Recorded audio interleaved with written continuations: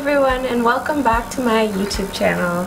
As you probably know, I've been in Fiji for a couple of months now, so I decided to make this video to let you know a few things in Fiji that I find really interesting or things that I think that you should definitely take note of.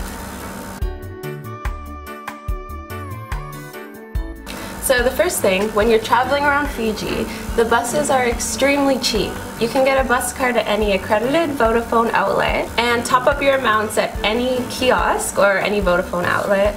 As for the taxis, they're very, very cheap, a little bit more than the buses, but still very, very cheap. And I find they're cheaper in Suva, in the central division of Fiji, and more expensive up in the western, but still very cheap. Uh, in Suva, it was like less than $10 to go around pretty much anywhere around the city. There's no Uber service or Lyft service in Fiji, but as I said, the taxis are very cheap, so might as well just take a taxi. A very common socio-cultural practice in Fiji is tea time.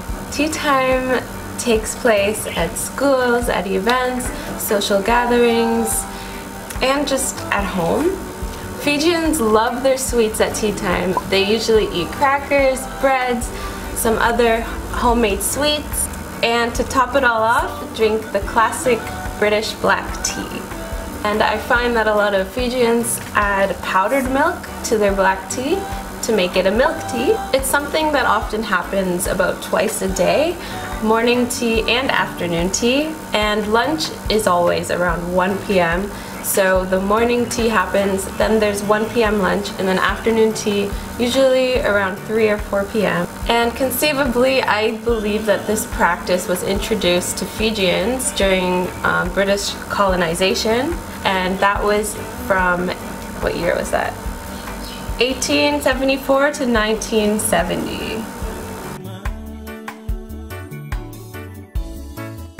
This next one is for all of my frizzy or curly long-haired travelers. Do not, I repeat, do not expect to use heat to straighten or process your hair as soon as you get outside, it's going to become a big poof ball and frizz up. I kid you not. As you know, Fiji is very humid tropical climate, so that's just one expectation that you should have when coming to Fiji. Another suggestion I have is to perhaps, if you plan on cutting your hair short, through sometime in the year, do it before you go to Fiji because it'll be much more easy to manage as this kind of long hair, nope, it's no fun. Expect to have your hair tied up most of the time that you're here in Fiji. But see, it's okay, I'm indoors right now and I'm facing the outside. The, the breeze is coming in and already frizzing up my hair, but at least I'm indoors, so it's not too bad. and here's a little tip for managing the heat. So I, this is just a personal thing that I've noticed in my time spent here. I find that if you use body lotions, especially the heavy body butters, you tend to sweat quite immense. It, I want to say the word astro astronomically, but you get the point. Um, if you use creams in these areas, you're going to sweat, especially your back. So I try to avoid these areas when I put cream on after a shower, and I just put it on areas if I shave those areas, but um, I don't use heavy creams anymore. And I've actually started to use um, sorry, there's mosquitoes coming in now. But I've actually started to use this rose toner and I find that this works pretty well to moisturize, keep the skin hydrated without having that like heavy layer on top causing you to sweat. So that's just a little advice. As for bugs and insects, creepy crawlies, there aren't any super dangerous or any deadly bugs here in Fiji. Probably the most dangerous thing would be dengue from mosquitoes, which outbreaks do happen sometimes.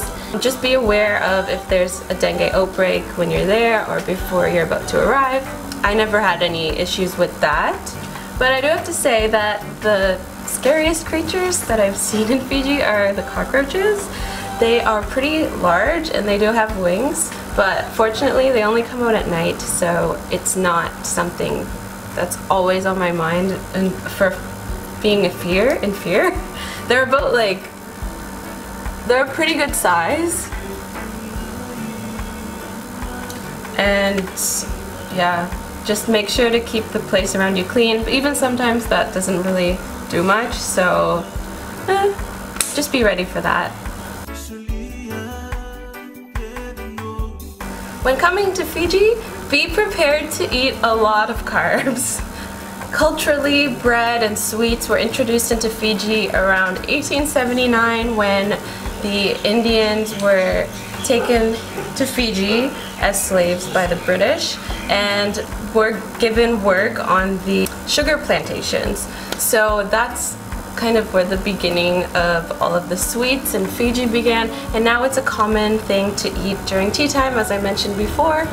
But for you travelers, expect to gain some weight when you come to Fiji if you're going to be eating as the locals do and that does explain the maybe like ugh, 5 to 10 pounds that I have gained over the few months that I've been here already. So, also the best bread that I think is available is by the Hot Bread Kitchen. And they have a big variety of different breads like sliced bread, they have scones, um, they have something with meat inside, there's like muffins and different types of little cakes, nothing too fancy, but more like the loaf type of cakes. But something that I really, really love is their scones. Fresh scones in Fiji, oh my goodness. With some jam and butter, it's the best thing for tea time. And maybe that is what contributed to my bit of weight gain. oh well, it's life. Markets in Fiji are plentiful and rich in fruits and veggies and even meats too. There's also handicraft market. You can find the biggest fresh markets in Nadi, Lautoka, and in Suva. and also the rock market in Suva. You can probably Google some of these to see the bigger markets and you can get a lot of items that people make themselves, um, even food people make themselves. And these handicraft markets are really good for if you want to buy some souvenirs to bring back home for your family and friends. Yeah, I suggest that if you're buying produce, definitely buy it at any of the markets that you see along the streets or the bigger markets um, rather than the grocery store because they're locally grown, organic, fresh, comes from the farms of Fiji, and you're supporting the local economy with that purchase. Um, also, I did, I did want to add that Fiji has banned the manufacture, sale, and use of plastic bags countrywide. So if you go to any market, any grocery store, they'll give you a reusable bag. And I also found that in one of the markets when I first arrived in Fiji, the Suva market, the really big one, there were these little stands in the back of the market and they were selling some handicraft items.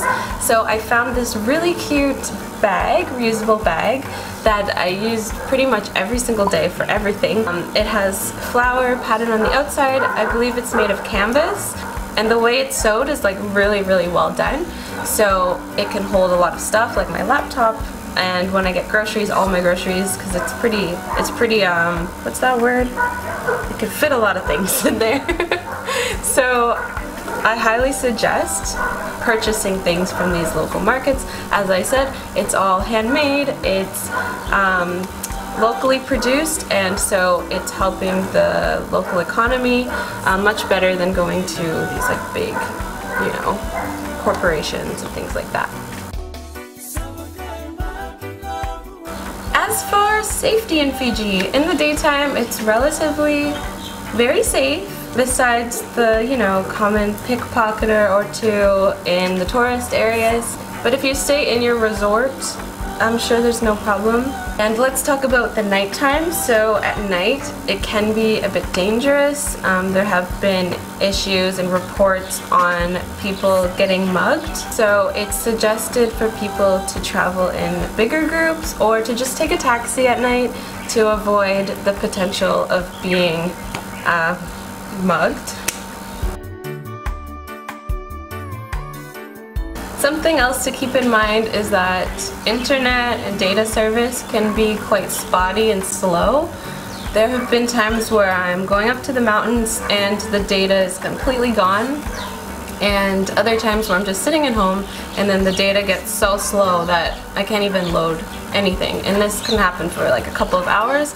It might be because of where I'm actually staying or it might be all around Fiji. I don't really know. Actually, I did do a little poll on my Instagram asking people if they found that um, internet's spotty all around Fiji and I got kind of like a 50-50 answer that it's spotty everywhere or it's just my personal. so I really don't know. So you can get data and internet through um, the two largest com phone companies, Vodafone and Digicel. Um, for me personally, I use Vodafone and the most feasible option for me was to get one of their plans where I spend $50 for data for the month, um, 50 Fijian dollars, and I get 50 gigabytes a month and they actually include another 50 so in reality I get 100 gigabytes for the entire month and that's a good amount for me. I know some people may use less but that was the best plan for me. Anything less I would go over and then my data would get cut. With these 100 gigs, as I said, this was a good amount for me and this is because I also use it for my computer. So I just hotspot my phone to my computer and then I'm able to use the internet, watch Netflix, browse, do some work, study, you know, all the good stuff. TikTok, YouTube. Also, something to take note is that about one Netflix movie is about one gigabyte. So just keep that in mind. Don't just watch a marathon of Netflix. I suggest actually that to download some Netflix before going on your trip or download some movies onto your computer so that you don't have to use all your data, get more data. Because the system for having data, it is a little bit like, it's more about topping up, getting more data, adding more, adding more, adding more, and it's a little bit annoying for me. Um, with Vodafone, they do have the mobile money app, so you can do it on your phone. I haven't actually used it yet, but I probably should. It might be easier. But And they do have a texting option with the mobile money, so you can just text a couple little digits and get more money. I don't know, for me it's a bit confusing, so I just like to go one month, pay one price, you're good. So another thing that I want to talk about is that everything in Fiji runs on Fiji time. Unlike places in the West or like Japan where they expect you to be on time or even earlier than the projected time, Fiji time, you can be pretty late for things. I'm not telling you be late for things. I'm just saying that there, there's a lot of times where things are scheduled for a certain time and not everyone shows up until maybe 10 minutes later, 15 minutes later, I don't know. Stick to how you normally do things just to um, be safe. Personally, I'm late for everything, so this is kind of an advantage to, for me as I show up on my regular time and that's when everyone else shows up as well. So Fiji time, it really means it's just a way to express how Fijians live in a more relaxed, easygoing, free lifestyle. They're not rush, rush, rush everywhere, hurry everywhere. They take their time, go with the flow, just and that's that's one of the reasons why I love Fiji so much is that all of your worries can just So something else to keep in mind is considering that Fiji is rich in culture and religion, one thing that I do notice is there's a certain way of dress that Fijians have and it's a bit more modest than you would find in the West. So I find that um, a lot of people don't wear clothes above the knees, as in short shorts or short skirts, short dresses, but um, tank tops seem to be okay. Um, mostly though, I do find people wearing the sleeve tops and the, the shorts That's like a common casual outfit. It's even common for Fijians to wear the clothes into the water, like the pool and the ocean.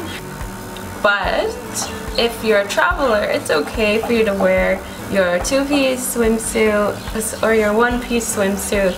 But it is better for the, you travelers to wear your bikinis and those kind of outfits in the resorts, not really in the cities or in public areas. Sorry. So be mindful when you're going to events and into town with what you decide to wear and especially in villages where you should wear a sarong for the ladies or a sulu which is a type of dress for both men and women and all genders.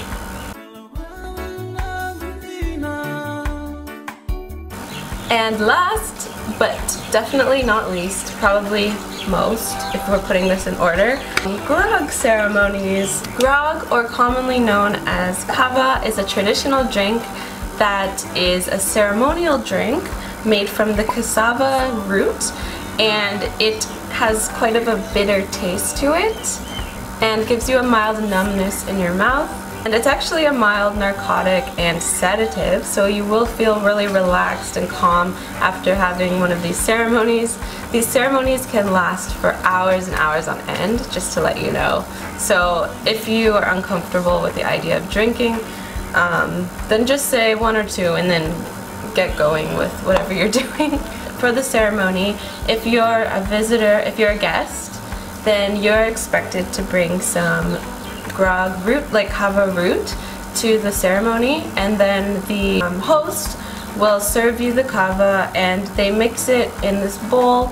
So when they serve you the bowl of the kava drink, you're expected to clap once and say bula to everyone as a greeting.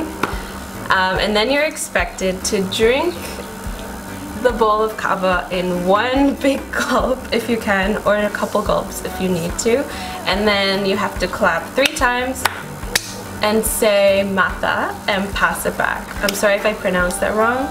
So in the cities, grog is commonly done with friends, family, any type of social gathering, event, any special, any anything, literally anything. You can have any reason to do grog.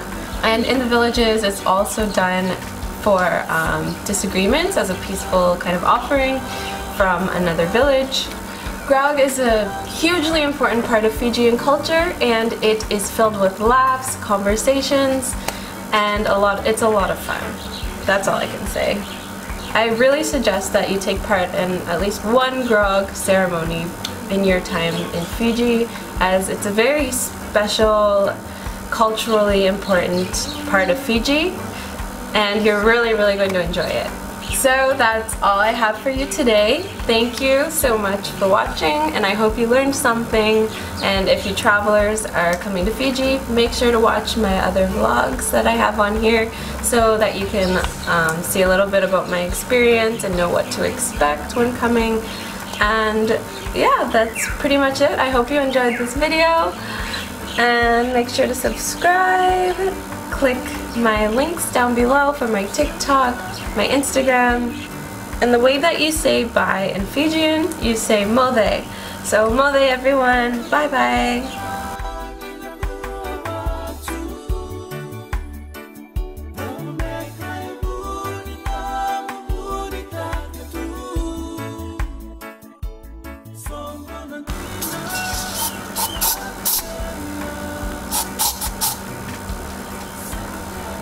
Sorry, these mosquitoes are attacking me.